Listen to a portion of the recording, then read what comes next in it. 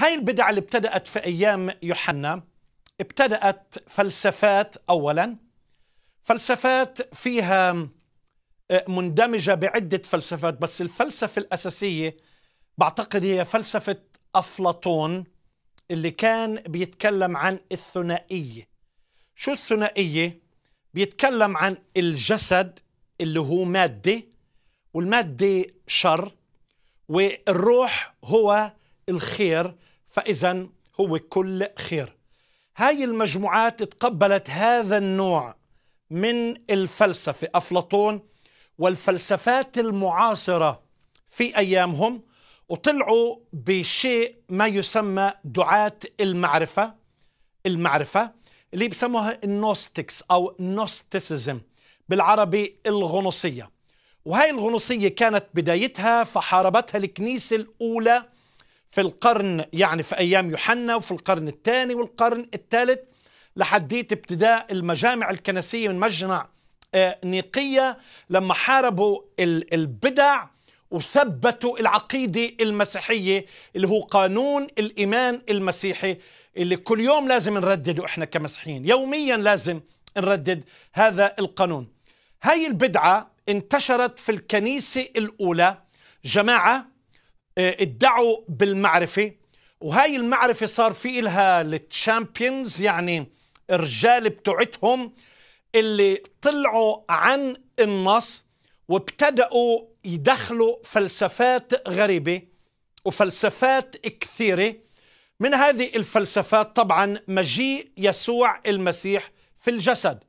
ما هو لا يعني صارت بدل ما نحكم العقيدة من كلمة الله أصبحنا نحكم على كلمة الله من خلال العقيدة اللي أنا بآمن فيها. واليوم على فكرة المسيحيين نحن كمسيحيون كل الطوائف بعدنا منحارب بعض موضوع العقيدة.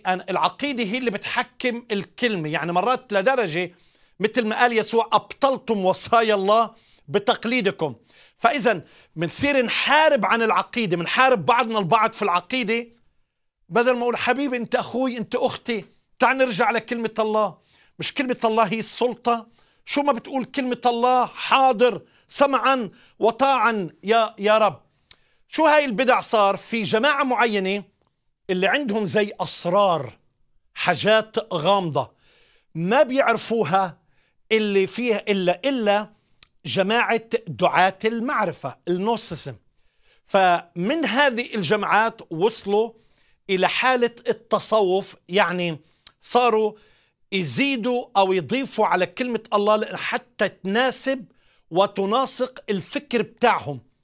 وهذا التصوف حتى يناسب العقيدة بتبعتهم فيدخلوا أشياء بيحشوها حشوة عشان إيش؟ تثبت أفكارهم. هذه البدع لما ابتدأت بإنكار المسيح مجيئه في الجسد معناته هذا بيقود إلى إنكار العقيدة. وحي الكتاب المقدس لأن الكتاب في النبوات العهد القديم والعهد الجديد تتكلم عن يسوع المسيح وعن عمل يسوع المسيح. آه، تنكر آه، الميلاد العذراوي لأنه المسيح لازم يكون إنسان كامل بلا خطية. فإذا بهاي الحالة بينكر الكفارة وإنه بصير موضوع الكفارة في شيء وهمي رسالة فكرية ممكن إحنا نستفيد منها وفيها رمز روحي عميق اللي أنا بتعلمه. فإذا أنكرت مجيء المسيح في الجسد فإذا أنا أنكر أيضا قيامة يسوع المسيح في الجسد. وإن أنكرت قيامة المسيح في الجسد وأنكرت مجيء المسيح في الجسد أصلا شو بقي؟ شو الغرض من الموضوع؟ فأنا أنكر الصليب. وأنكر الفداء وأنكر الكفارة أيضا. ثم هذه أو بعض من الجماعة مش كل الغنص ما هي موضوع شائك. بعض من الغنصية شو قالوا؟ لا إذا أنت بدك تحط اللاهوت اللاهوت جاء يعني روح المسيح الروح روح المسيح. حل على المسيح في المعمودية. طبعا الدليل تبعهم إنه الروح القدس جاء بهيئة حمامة. والروح روح المسيح أو روح الرب فارق يسوع المسيح في الصليب عندما قال إلهي إلهي لماذا تركتني؟ لما بتسمع هاي البدع ونفس الكلم نفس الشيء ينكر الصليب وينكر اللاهوت وينكر الثالوث ومجيء المسيح في الجسد وإنكرنا مجيء المسيح في الجسد فهو شخصية. آه هو كان شايفينه عارفينه عم بيمشي بيناتهم بس ما هواش جسد مادي. بعدين طلعت فئة ثالثة وفئة رابعة وخامسة وسادسة وعشرة ومية كمان. بس طلعت فئة تانية. طب ما هو أصلا الجسد مادي. والمادة شر فلنأكل ولنشرب وغدا نموت. يعني زي الفلسفات المعاصرة في أيام بولس الرسول. فإذا طيب صار في ناس راحت لشيء أعمق. طب خلاص طب أنا ليش أتعب نفسي؟ بلش يميزوا الخطية والإباحية. والزنا هو أصلا الله اللي بيهمه الروح مش الجسد. فالناس صارت تخطئ وتمارس الخطية. ليه؟ لأنه الجسد مادة والمادة شر. فإذا يوحنا عم بحارب هذه البدعة. بقول هو الشاهد الوحيد اللي ضل نشكر الله لأنه كل التلاميذ ماتوا. فيوحنا لما كتب الرسائل وكان في أفسس وين طلعت هاي البدع.